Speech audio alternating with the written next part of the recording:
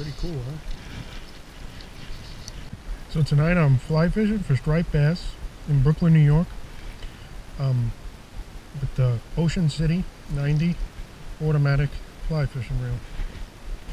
So tonight I'm fly fishing with the Ocean City 90 automatic fly fishing reel. It's a really great reel. I'm really enjoying it. Um, it's an automatic reel. I really got into these things, so I got one set up for salt water. This is a dual. It's actually manual and automatic, so you can go crank or retrieve. But two things that make this really a Ocean City 90 automatic fly fishing reel um, really shine is if I want to move to the other side of the pier, I just hit that lever and I'm on my way. Uh, another reason, another neat thing about it is if I'm playing a fish, if I get lucky and I got a lot of line out and bringing that fish in, that'll bring the line right back into the reel so I don't trip over it like I usually do. So those are two features about automatic reels I really enjoy. Also, uh, this here Ocean City Automatic 90, it's a dual reel. You can actually retrieve manually.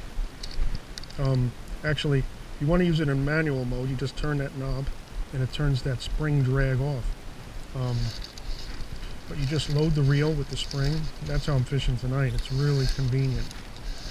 And it's it's got a really wide spring, uh, much more robust than a freshwater automatic fly fishing reel. The spring is about as wide as the reel inside. And it's got a real lot of torque to it. That's how you get the big ones.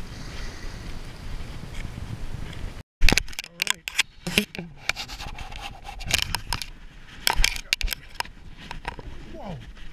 He might be bigger than I thought. 25 pound leader. Come, coming up now. I forgot my headlamp, so. That's a nice fish.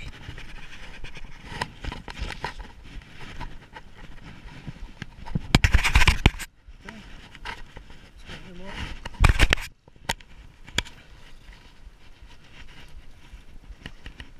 Let's see what we got. Oops, no, that's a nice fish. Hold on. Ooh, he's coming to it. All right.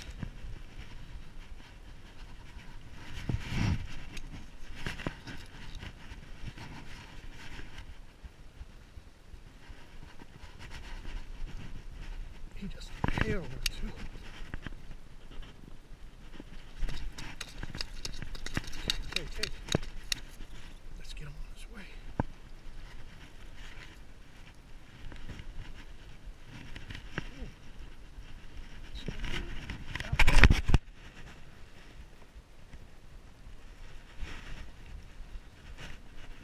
He's he's about 28, I think. Let's get him going.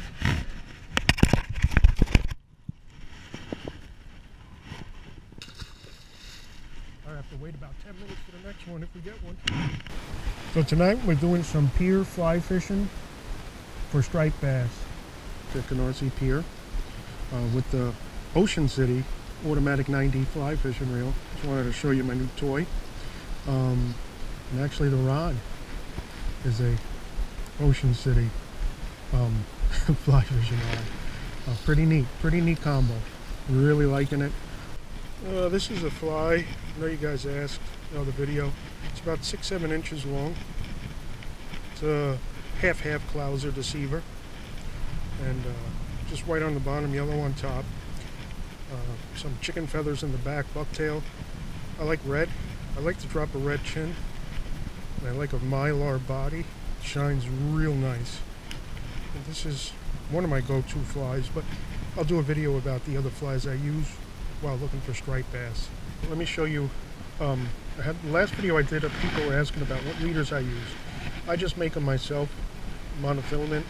I like the Berkley big game, but uh, what I do is I nail knot to my main line 50 pound monofilament and I put a drop of Aquaseal over that. That goes seamlessly through all your guides. So it, it really, you're not getting caught up in when you're moving around and whatnot. So that works great. Then I do about six feet, arm's length of 50 pound monofilament. Do your favorite connection knot. You can use any knot you want. And I do about five feet of 30 pound uh, monofilament. And to that, I usually will go three to four feet, maybe five, to 15 pound test, but tonight I am using 25 pound test. And to that I do a loop knot. So at the end of the night, or it gets short, I'll change my shock leader over and usually I'll fish it towards about this far down. I find this really plays fly often nice in the current. Um, do you want to use it like this all the time? No, but with the floating line, I find myself using it more often than not. So that's the leader that I like to use with my floating line.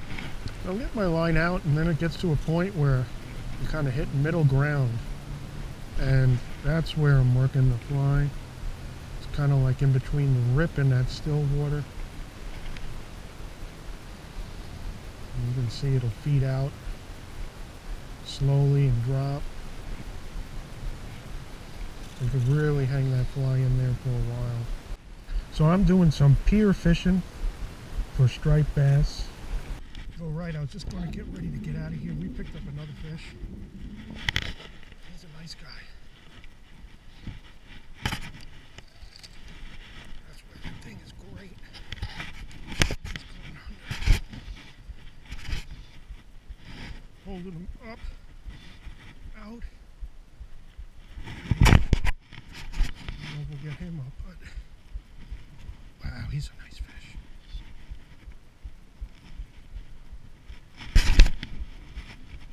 Come on, baby, come on.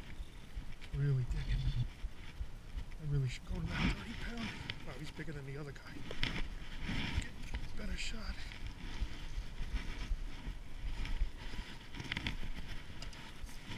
Let's see if we get him up. He's pretty nice and slow. I thought I lost him there.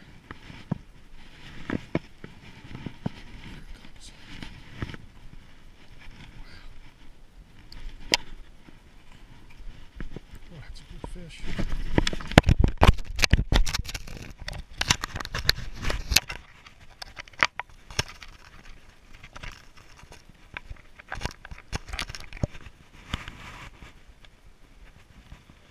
It's a nice fish.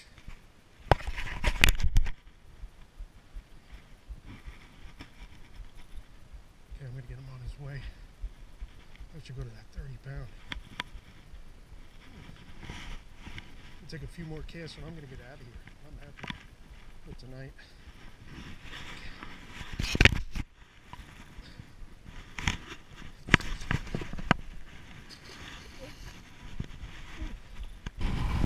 Now those bass, they'll come up from the bottom and they'll grab it and they'll just swing right down with it.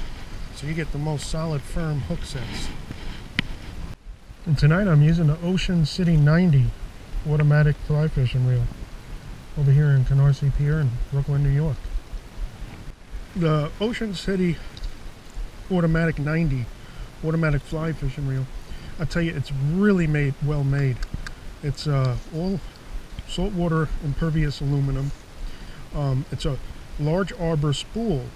And the cool thing is, it doesn't hold too much backing, so a lot of the play is going to be brute force, what I'm looking for anyway.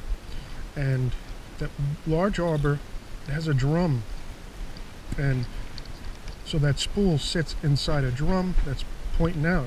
So if you were to use this on the beach and you had sand on it, in it, that sand is not going to get inside um, just because it's not going to work its way in, around, and into the spring mechanism that retrieves the line.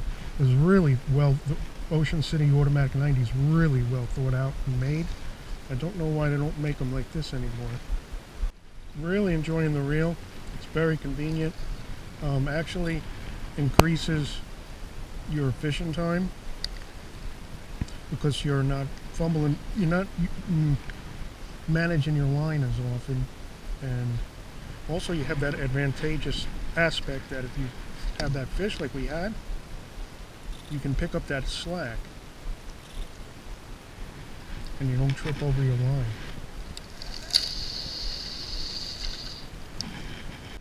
So I am going to be getting out of here and uh, it was a, a pretty good night. Um, had a couple bass. Um, I think I'm pretty sure one of them was close to being a keeper in that 28 inch range.